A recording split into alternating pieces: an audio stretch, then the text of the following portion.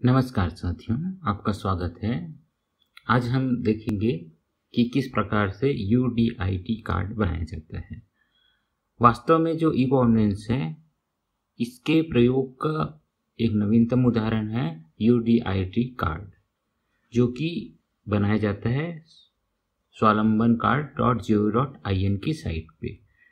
पहले हम देख रहे हैं इसका लिंक क्या है। तो इसका लिंक है H T T P colon, double slash www.swavlambancar.gov.in यह इसका साइट है।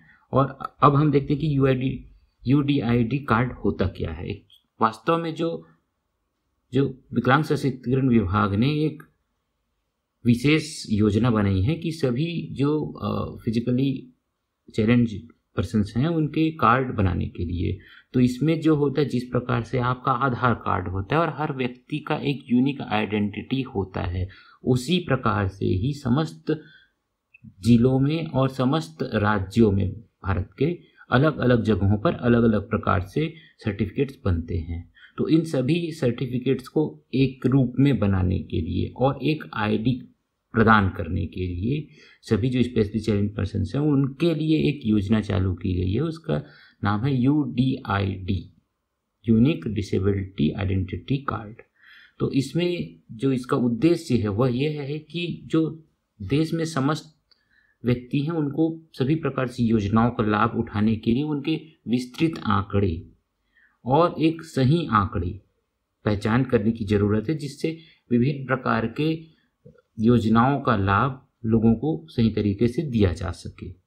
विभिन्न प्रकार की जो सरकार की योजनाएँ होती हैं, उनका लाभ इसलिए नहीं मिल पाता कि हमारे पास आंकड़े सही तरीके से नहीं होते हैं और हम ठीक तरीके से नहीं जान पाते कि कितने लोगों को योजनाओं का लाभ देना है, किस प्रकार की दिक्कतें लोगों को हो रही है, इस प्रकार की चीज़ों को जानने के लिए यह एक योजना चालू की गई है।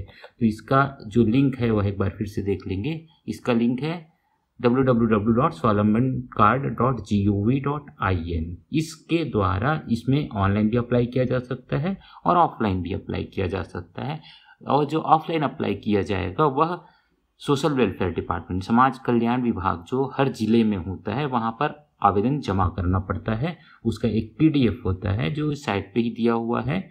उस पर सभी फॉर्म फिलअप करके डाटा आप वहाँ पर जमा कर सकते हैं और चाहें तो ऑनलाइन भी अप्लाई कर सकते हैं। ऑनलाइन अप्लाई करने के लिए सबसे पहले जाना पड़ेगा Swavlamban card dot G dot in site पे, जहाँ पर ओपन करने पर इस प्रकार का स्क्रीन दिखाई देगा। इसको आप देख सकते हैं। इस प्रकार का स्क्रीन दिखाई दे रहा है। इस स्क्रीन में होम हमारे बारे में कार्ड लाभ विकलांगों के बारे में, मीडिया गैलरी, सुझाव इत्यादि दिया हुआ है।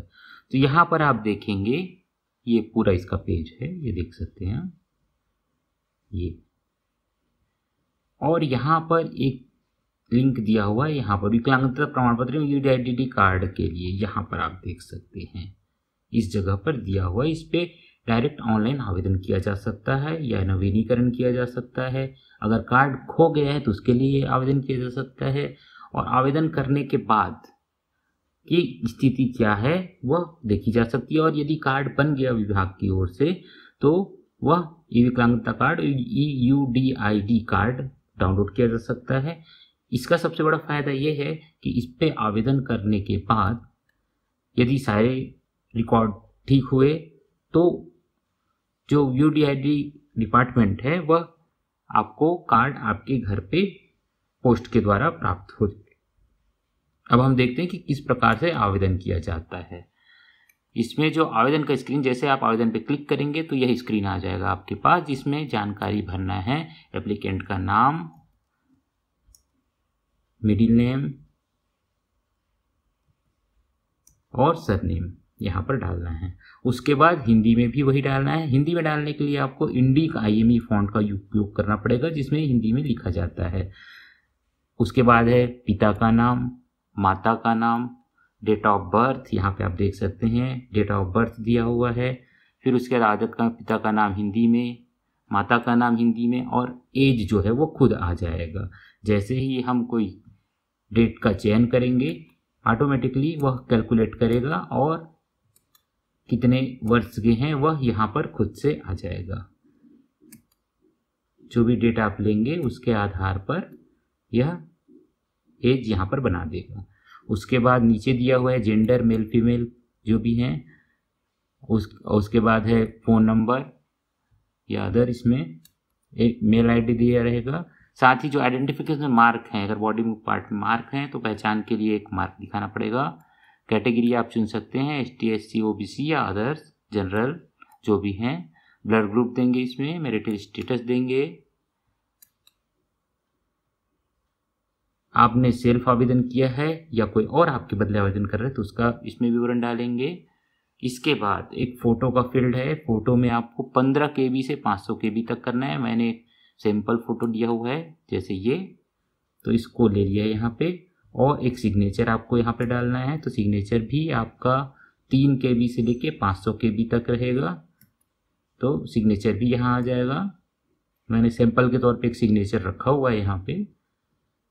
इसके बाद आप एड्रेस डालेंगे आपका कि आपका पता क्या है घर का, जहाँ पे आपको पत्र चाहिए। जो कार्ड जब बनेगा यू डी कार्ड जब बनेगा तो वह इस पते पर आएगा।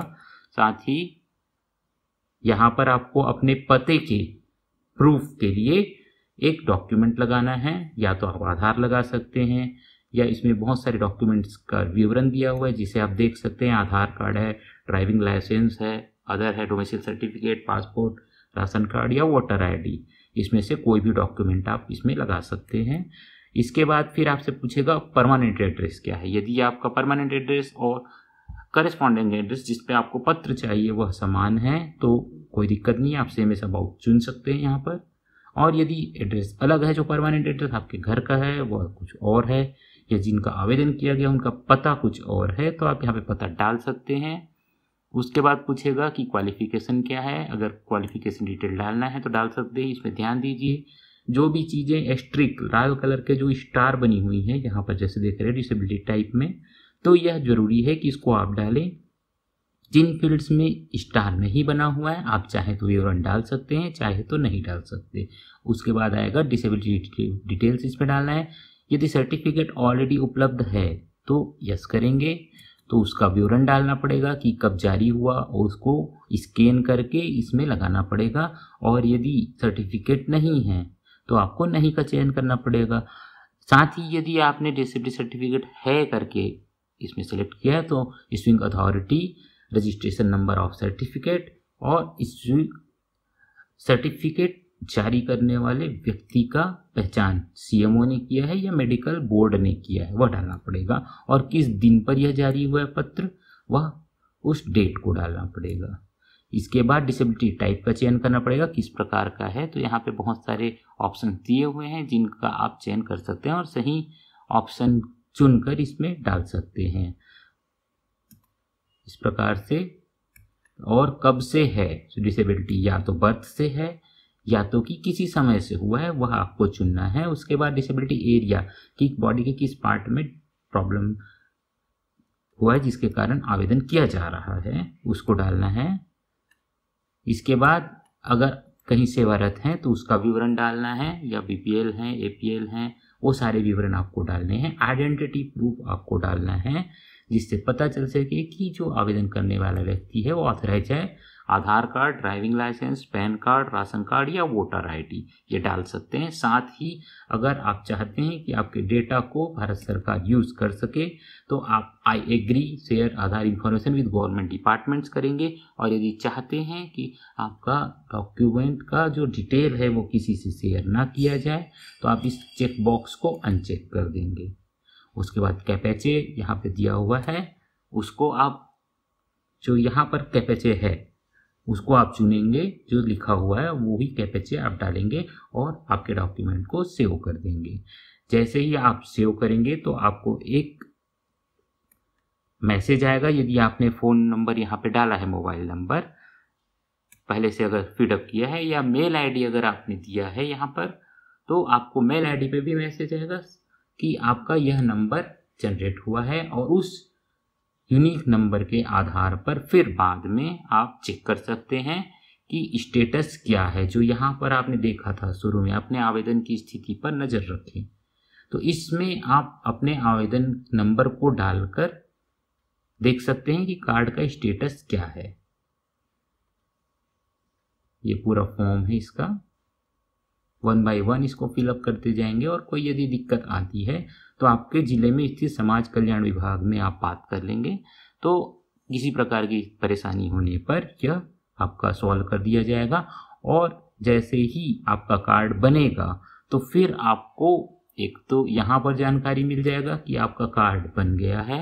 तो आप यहाँ जो डाउनलोड लिंक दिया हुआ है, उससे डायरेक्ट कार्ड को डाउनलोड भी कर सकते हैं और आपके घर पे भी आएगा। साथ ही आपके मोबाइल और अगर मेल आईडी आपने दिया हुआ है तो उस मोबाइल आईडी या मेल आईडी पर भी मैसेज आएगा कि सर्टिफिकेट बन गया है, आप ले सकते हैं ऑनलाइन या, और साथ ही जो प्रिंटेड कार्ड है, वह आपके यहाँ पोस्ट पर आएगा। इस प्रकार का सुविधा का उपयोग करके आप, आपके पहचान वालों या आपके रिश्तेदारों जिनके भी यूडीआईडी कार्ड बनाने हैं, उनके लिए आप आवेदन कर सकते हैं। साथ ही यदि आपको ऑनलाइन डॉक्यूमेंट सबमिट करने में कोई परेशानी हो तो इसमें एक पीडीएफ भी दिया हुआ है, जिसको डाउनलोड करके, प्रिंट करके फिर इसे भेजा जा सकता है।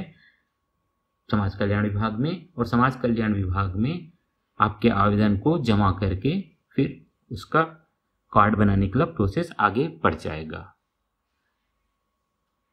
आज के लिए इतना ही साथियों। ई गवर्नेंस में हम आपको और अधिक जानकारी भविष्य में देते रहेंगे। आपसे अनुरोध है कि अधिक से अधिक हमारे साइट से जुड़कर हमें अपना सहयोग एवं मार्गदर्शन प्रदान करते रहें। हमसे जुड़ने के लिए वीडियो के नीचे में लिंक दिया हुआ है, जिस पे क्लिक करके आप हमारे चैनल से जुड़ सकते हैं। साथ ही जो Swavlamban card dot G dot in है, उसका भी लिंक हमने वीडियो के नीचे में दिया हुआ है, जिस पर क्लिक करके सीधे ही साइट पे पहुँचा जा सकता है। हमारे वीडियो देखने के लिए आपका धन्यवाद साथियों। नमस्कार।